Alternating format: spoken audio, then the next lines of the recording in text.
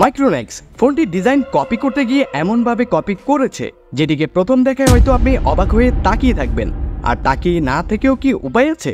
যেখানে iPhone fourteen pro ম্যাক্সের সর্বনিম্ন প্রাইস লাখের উপরে, আর সেই জায়গায় যদি মাত্র উনিশশো টাকায় আইফোনের ফিল পাওয়া যায়, তাহলে আর কী লাগে?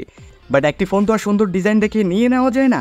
আর তাই অ্যাজ এ ইউজার এই ভিডিওতে জানাব সুন্দর ডিজাইন ছাড়া ফোনটিতে সুবিধার পাশাপাশি কি কি অসুবিধা পেয়েছি so without wasting any more time let's begin the video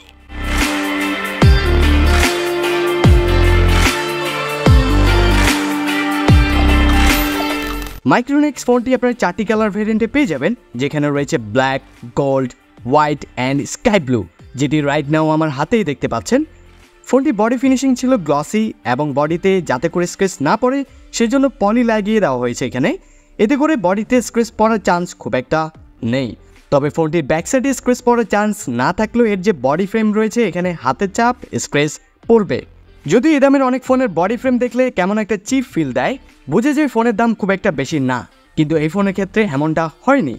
এবং ফোনটি স্কোয়ার শেপের হয় এটি ফ্ল্যাট সারফেসে খুব সহজে দাঁড়িয়ে থাকতে পারে। সো ওভারঅল ফোনের বিল কোয়ালিটি লং টাইম ব্যবহারের জন্য ঠিক না থাকলেও মোটামুটি চলার জন্য ফোনটির বিল কোয়ালিটি ঠিক ছিল। সো এবার যদি ফোনটিতে থাকা রেগুলার পার্সেন্ট বাটন পজিশন দেখি, ফোনটির নিচের দিকে প্লেসমেন্ট করা হয়েছে micro USB charging port headphone jack and dedicated SIM card slot যেখানে দুটি সিম কার্ড ব্যবহার করার পাশাপাশি up to thirty two GB memory card ব্যবহার করতে পারবেন।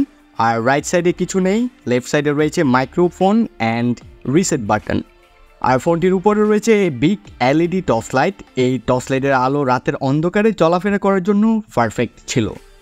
এছাড়া ফোনটির ব্যাক সাইডে গেলে দেখা মিলবে থ্রিফল ক্যামেরা সেট আপ ক্যামেরার ডিজাইন ছিল আইফোন ফোরটিন প্রো ম্যাক্স থেকে ইন্সপায়ার তবে এখানে তিনটি ক্যামেরা থাকলেও আসলে ক্যামেরা ছিল একটা। বাকি যে দুটি ক্যামেরা দেখতে পাচ্ছেন, এগুলো কোনো ক্যামেরা না। এগুলো জাস্ট ক্যামেরা ডিজাইনকে সাজানোর জন্য ব্যবহার করা হয়েছে। ওয়েল ফোনটিতে রয়েছে one thousand eight hundred milliampere fixed battery যেটিকে সাথে থাকে চার্জার দিয়ে ফুল চার্জ করতে সময় লাগে তিন ঘণ্টার কাছাকাছি সময়। আর এটিকে ফুল চার্জ দিয়ে একটানা কথা বলা যায় বারো থেকে তেরো ঘণ্টার মতো। এবং নর্মাল ব্যবহারে ব্যাটারি ব্যাকআপ পাবেন দুই থেকে তিন দিনের মতো। যদিও এটা কম বেশি হতে পারে, যেটা আপনার ব্যবহারের উপর ডিপেন্ড করবে। তবে এখানে একটা কথা বলতে হয়, এই ফোনের ব্যাটারি অনুযায়ী ব্যাটারি ব্যাকআপ সন্তোষজনক না। One thousand eight hundred milliampere battery থেকে মিনিমাম তিন থেকে চার দিন ব্যাটারি ব্যাকআপ আশা করেছিলাম, কিন্তু সেটি ফোনটিতে পাইনি। ফোনটির ইনবিল্ড স্টোরেজ ছিল thirty two MB ROM, thirty two MB RAM. আর মাইক্রোনেক্স ফোনটিতে কী চিপসেট ব্যবহার করা হয়েছে? আই ডোন্ট নো কজ চিপসেটের কোনো তথ্য পাইনি। এমনিতে চিপসেটের পারফরমেন্স ছিল অ্যাভারেজ তবে সমস্যা ফোনটিতে থাকা কিপ্যাডগুলোর কিপ্যাডগুলো দেখতে সুন্দর লাগলেও এগুলো একটু প্রেশার দিয়ে টাইপ করা লাগে। ফোনের ডিজাইন অনুযায়ী এখানে কিপ্যাড না দিয়ে দুই একশো টাকা বাড়িয়ে টাচ প্যানেল দিলে ভালো হতো। সো এবার কথা বলা যাক ফোনটির phone book capacity and messages capacity কোথায় কেমন ছিল। ফোনটিতে ফোন বুক ক্যাপাসিটি ছিল থ্রি হান্ড্রেড মেসেজ ক্যাপাসিটি ছিল ওয়ান হান্ড্রেড যেটি ফোনের প্রাইস বিবেচনা আমি একদমই আশা করিনি। ফোনের প্রাইজের কথা চিন্তা করলে phone book capacity minimum one thousand অথবা ওয়ান থাউজেন্ড ফাইভ হান্ড্রেড এবং মেসেজ ক্যাপাসিটি ফাইভ হান্ড্রেড থাকা দরকার ছিল। সো যাদের ফোন বুক ক্যাপাসিটি একটু বেশি প্রয়োজন, তাদেরকে হতাশ করবে এটি। এবার ফোনটি ডিসপ্লে নিয়ে আলোচনা করা যাক। ফোনটিতে রয়েছে বিগ সাইজের টু পয়েন্ট এইট ইঞ্চের কিউবিজি ডিসপ্লে যার রেজলিউশন ছিল two hundred forty into three hundred twenty pixel ডিসপ্লের কালার ছিল হালকা পানসি পাশাপাশি ব্রাইটনেসের ছিল ঘাটতি। যদিও এই ব্রাইটনেস দিয়ে ইনডোরে ব্যবহার করতে কোনো রকম সমস্যা হবে না। তবে যদি আপনি বাইরে থাকেন, বাইরে ব্যবহার করেন, তাহলে এই ডিসপ্লেতে কোনো কিছু অপারেট করতে গেলে কিছুটা সমস্যায় পোয়াতে হবে। সো এখানেও বলতে হয়, ফোনের প্রাইস বিবেচনায় ডিসপ্লে যেমনটা দরকার ছিল, তেমনটা ছিল না। এনিওয়ে এবার ফোনটির এয়ার স্পিকারের গুণমান নিয়ে কথা বলা যাক।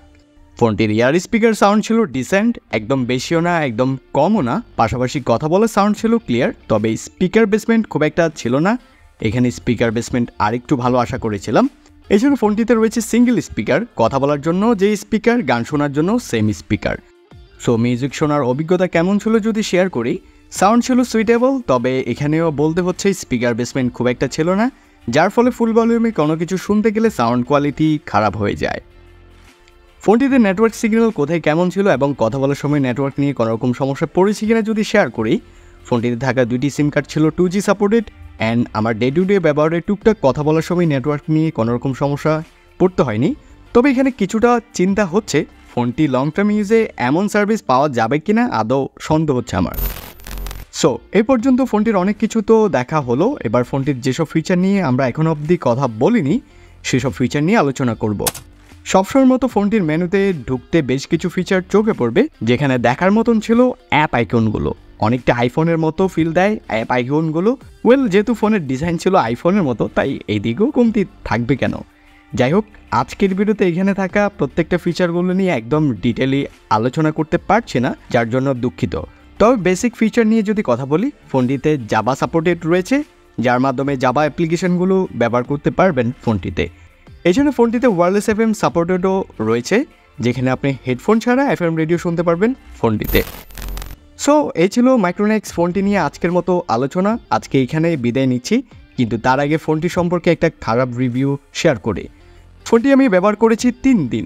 তার মধ্যে ফোনের পাওয়ার বাটন ইস্যু ছিল মানে তিন দিনের ব্যবহারের মধ্যে ফোনের পাওয়ার বাটন একদমই কাজ করছে না।